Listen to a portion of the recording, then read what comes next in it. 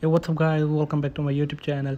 So guys in this video i'm going to show you how to fix snapchat not working on iphone 14 14 pro and 14 pro max. So guys let's get started this video without wasting any time. So guys i have some simple solutions to fix this issue. So guys firstly check your iphone internet connection. It is working or not. So for this open safari and tap on google here.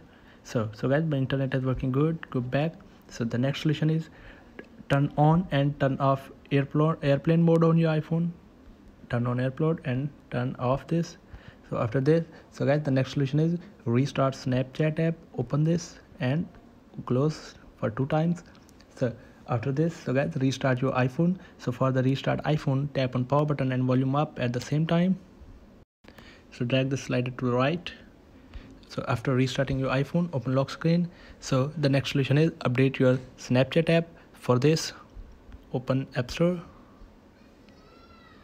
So search snapchat here.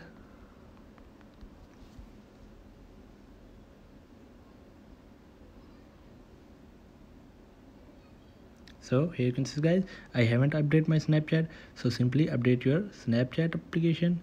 So after updating your snapchat so guys the next solution is free up your iphone storage. So guys if you have storage full on your iphone so simply free up some storage on your iphone so the next solution is turn off iphone's content and privacy restrictions. For this open settings scroll down tap on screen time tap on content and privacy restrictions. Tap to turn this off here. So so guys here are the some simple solutions to fix this issue.